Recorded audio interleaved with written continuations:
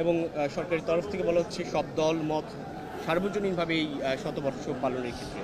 এমন একটা পরিস্থিতিতে হচ্ছে যখন একটা প্রধান রাজনৈতিক দলের সর্বোচ্চ নেত্রী কারাগারে, কি ভাবছেন এই এই পরিবেশের মধ্যে বাংলাদেশের স্বাধীনতার যে সংগ্রাম, যে যুদ্ধ, এর মূল চেতনাটাই ছিল আপনার গণতন্ত্রের সংগ্রাম, গণতন্ত্রের যুদ্ধ। এবং এটাকে কেন্দ্র করেই কিন্তু আমাদের দীর্ঘকাল ধরে স্বাধীনতার দাবি উঠেছে, স্বাধিকারের আন্দোলন হয়েছে।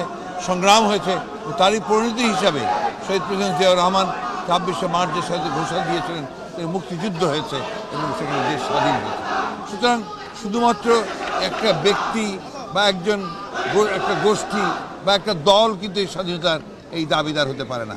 সমগ্র বাংলাদেশের মানুষ তারা দীর্ঘ সময় ধরে এই স্বাধীনতার জন্য লড়াই করেছে, সংগ্রাম করেছে এবং তারই ফলশ্রুতি আমরা দেখেছি যে স্বাধীনতার একটা মুক্তিযুদ্ধ হয়েছে। যে যুদ্ধের ঘোষণা দিয়েছেন শেখ মুজিবুর রহমান আমরা একটা স্বাধীন দেশ পেয়েছি।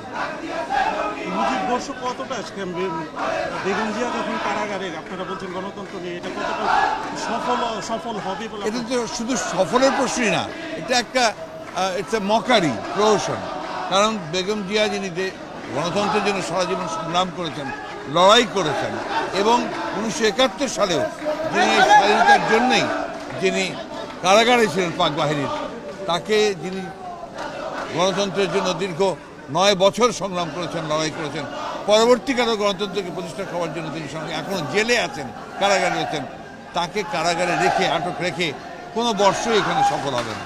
আরেকটা শেষ প্রশ্ন, স্যার। প্রার্থী হিসাবে তারা বলছেন যে অনেকটাই অপরিচিত নতুন প্রার্থী আমাদের রুমে। আপনারা কি মনে করছেন কতটা প্রতিদ্বন্দ্বিতা হবে যদি নির্বাচন হয় এবং উনি মাঠে থাকবেন বলে আমাদের বলেছেন শেষ পর্যন্ত? কতটা লড়াই করতে পারবেন আমাদের প্রার্থী একজন সংগ্রামী গণতন্ত্রের জন্য সংগ্রামী একজন নেতা এবং ধানমন্ডি যে আমাদের বিএনপির যে কমিটি আছে সেই কমিটির তিনি সভাপতি ছাত্র রাজনীতি করেছেন দীর্ঘকাল রাজনীতি করছেন এবং এলাকায় তিনি যথেষ্ট জনপ্রিয় মানুষ। আমরা বিশ্বাস করি সে অত্যন্ত মেধাবী ছেলে। তার মেধা দিয়ে সে ভ- সে কন্ট্রিবিউট করতে পারবে। সে অবশ্যই তার এই যোগ্যতা প্রমাণ করেই সে জনগণের ভোটেই নির্বাচিত হতে পারবে ইনশাআল্লাহ।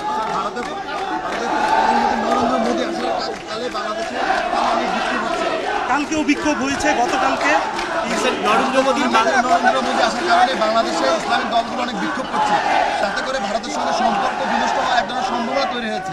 আপনাদের পক্ষ থেকে এই বিক্ষোভকে কীভাবে দেখছেন এবং নরেন্দ্র মোদী আসলে আমরা তো আমাদের আমাদের আমাদের বক্তব্য তো আমরা আগেই বলেছি সেটা খুব পরিষ্কার করেই বলেছি যে বর্তমানে বাংলাদেশের যে অবস্থা বিশেষ করে আপনার ভারতের এনআরসি এসএসির পরে এবং যে সাম্প্রদায়িক দাঙ্গা হয়ে গেল সেই তার যে এখানে যে যে যেটাকে আমরা বলি প্রভাব পড়েছে সেই প্রভাবে ওনার এখানে আসাটা কতটুকু সমীচীন শোভনীয় এটা তারাই বিচার করবেন।